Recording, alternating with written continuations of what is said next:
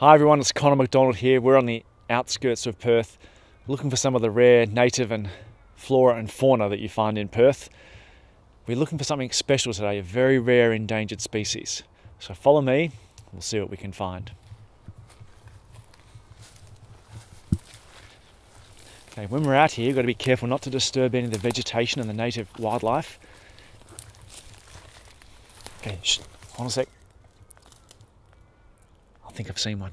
Okay, just be careful.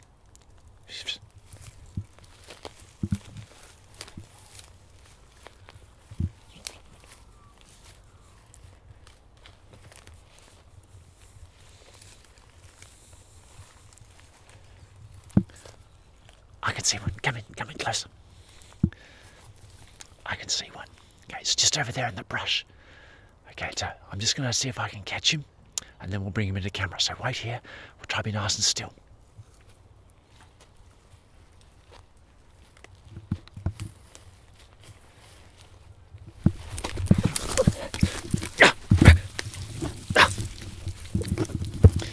I've got him. I've got him. Now we'll try not to scare him.